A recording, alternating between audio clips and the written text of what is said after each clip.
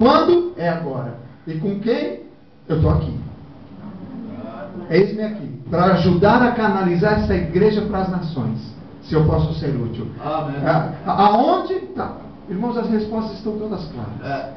E aí eu fiz o desafio na igreja, no domingo de manhã, e disse, quantos, a, a igreja aqui, quantos que estão animados, né, para que possa enviar vosso pastor para o Oriente Médio, para essa viagem. Contribuir, orar, fazer alguma atividade. E aí disse, quantos? Digam amém. Uma igreja, irmãos, tinha umas 200 pessoas. E aí a pe- pessoa que estava no primeiro banco levantou e disse, amém. Eu disse, uau! Tem uma pessoa animada. E essa pessoa era o pastor.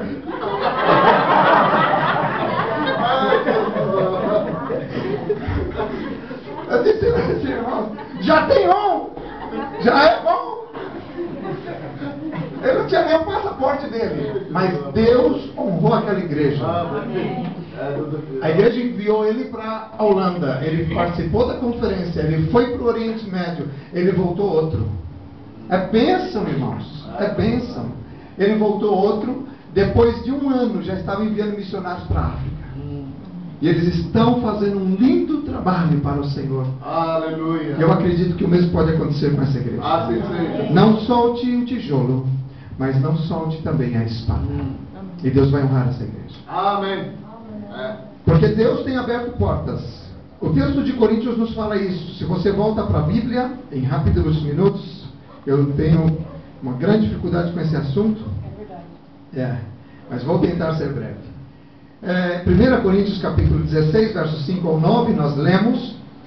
O que eu estou vendo é que Deus está abrindo portas para os seus filhos nesse tempo. É. Esse tempo é sumamente importante para a igreja e muito especial. Esse tempo, Deus está abrindo portas de oportunidades através dos estudos. Nossos jovens estão estudando faculdade, universidade, escola secundária e aonde se está apresentando muitas oportunidades. Eu não sei se aqui há alguns jovens onde tem nas suas classes alunos de outras nacionalidades. Tem? Tem algum chinês estudando lá com vocês? Algum polaco? Ucraniano. Ucraniano? Alemão? Hã? Já tem ucraniano? Na Holanda, os jovens da nossa igreja, como estamos em Amsterdã, onde há todas as nações do mundo, é comum ter na classe dos nossos jovens marroquinos, turcos, suriname, ah, asiáticos dos países da Ásia, do norte da África, etc., de qualquer parte. Deus está abrindo muitas portas para a igreja hoje. Ah, aleluia. E as portas estão aí diante de nós, começando pelos estudos, começando por trabalhos, por contatos, por intercâmbios em nossa atualidade. Essa manhã eu toquei simplesmente no assunto da globalização. Hoje a imigração, ou essa boa mistura dos povos da terra, ela tem cooperado muito para gerar portas abertas. Se você vai a um, a um aeroporto, você desce do avião e o mesmo avião está. As pessoas a limparam o avião e já carregaram novamente o mesmo avião e por um corredor sai todos ou 200 ou sei lá quantos passageiros e no outro corredor, no mesmo avião, estão entrando mais 200 passageiros para ir ao mesmo destino que trouxeram 200. Há um fluxo hoje no aeroporto de Lisboa impressionante. Ou nos aeroportos internacionais impressionantes, seja Brasil, seja Europa, seja aqui em Portugal. Então, há um intercâmbio e a globalização tem feito o nosso mundo ficar muito pequeno, gerando oportunidades que a igreja, em dois mil anos, nunca teve. É verdade.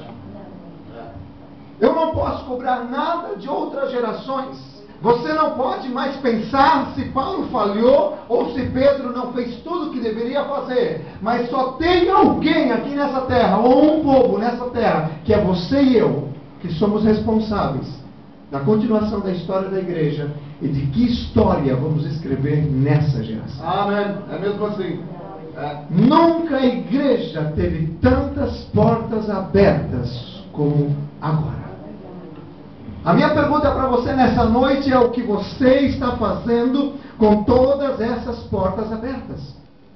Os meios de comunicações são outras portas abertas. Hoje nós encontramos é, oportunidades através da rádio, através da TV, através da internet. São algumas das muitas ferramentas que podemos usar para nos comunicar. Quando eu, eu conforme eu contei um pouquinho da história, me apaixonei pela minha esposa. E ela estava no Brasil e depois voltou ao Chile. As nossas cartas levavam duas semanas ou mais. Duas, três semanas para chegar. Então era uma coisa tremenda. Uma prova de amor profundo. Eu nunca fui muito romântico. E eu não sabia o que escrever a ela. Digo aos jovens não façam isso porque pode errado. Mas o que eu fazia? Eu escrevia uma carta, um jornal de 10 folhas. E quando ela recebia, ela dizia, mas que jovem romântico! Escreveu 10 páginas. O que vai ter nessa carta? Isso aconteceu na primeira, na segunda ela já estava decepcionada. Eu não sabia o que escrever e eu contava tudo que eu tinha feito na obra do Senhor. Eu escrevia toda mensagem. Olha, eu fui preguei em tal igreja, preguei esse versículo e aí eu li essa parte. Eu não sabia o que dizer. E no final eu dizia, te amo. E ela ficava três semanas esperando uma carta de amor e recebia uma mensagem, pelo menos edificava a alma não pode reclamar disso, você vê pão. Mas hoje já não temos mais essa dificuldade. Porque nós estamos falando de que hoje você pode ir ao outro lado do mundo e amanhã já se conectar a, através de um videoconferência e você está falando diretamente aqui. É, é hoje nós podemos aqui em Marinha Grande estar a ouvir missionários do norte da África com o rostinho deles aqui em viva voz, no, no, no, ao vivo, no mesmo momento. Nós não precisamos fazer uma gravação. Eu levei a Cuba uma imensa biblioteca, imagino eu, de mais de 200 ou 300 livros, entre apostilas, entre mensagens, entre canções. Sabem que? Alguém tem aí um pendrive? Tem aí um pendrive? Pode trazer aqui rapidamente. Sabe, irmãos, eu levei mais de 200, quase 300 livros eh, cristãos para os pastores, porque eles necessitam muito de, de, de, de de material cristão lá, ah, ah, porque eles não têm os recursos. Eu levei todos isso, tudo isso em dois pendrives. Eu levei uma biblioteca imensa. Imagina se eu chegasse lá no aeroporto de Havana com duas ou três imensas malas de livros. E chegasse lá, eles iam olhar e dizer, não entra. Não entra, porque eles têm, eles fazem qualquer problema para não deixar entrar. Mas eu levei dois pendrives de 32 gigas cada um, no bolso, tranquilo. Levei uma imensa biblioteca e não me deu dor nas costas. Graças a Deus. Por quê, irmãos? Por causa de que nós temos portas abertas e meios que hoje nos facilita. Graças a Deus, aleluia. Você guardou um pendrive? Quem vai querer saber o que está dentro?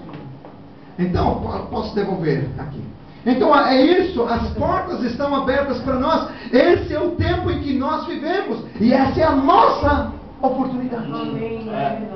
Deus vai cobrar de cada geração o que eles deixaram de fazer, e Deus vai recompensar a cada geração o que eles fizeram. É verdade. E, e o mesmo vai acontecer conosco. Ninguém vai vir buscar o Pedro. É. Então esse é o nosso tempo. Estamos. Por favor, João. Obrigado, querido. Então essa é a nossa oportunidade. E quando eu olho no tempo de Paulo, no primeiro século, quando ele escreve essa carta aos Coríntios, você pode estar aqui comigo, debruçado aí no texto, você vai encontrar que Paulo, ele tinha pelo menos cinco expressões do coração dele, que tem muito a ver conosco hoje. Agora, as limitações de Paulo eram imensas. Paulo não tinha uma website, Paulo não tinha. Muitas pessoas chegam à nossa igreja pelo website. É verdade.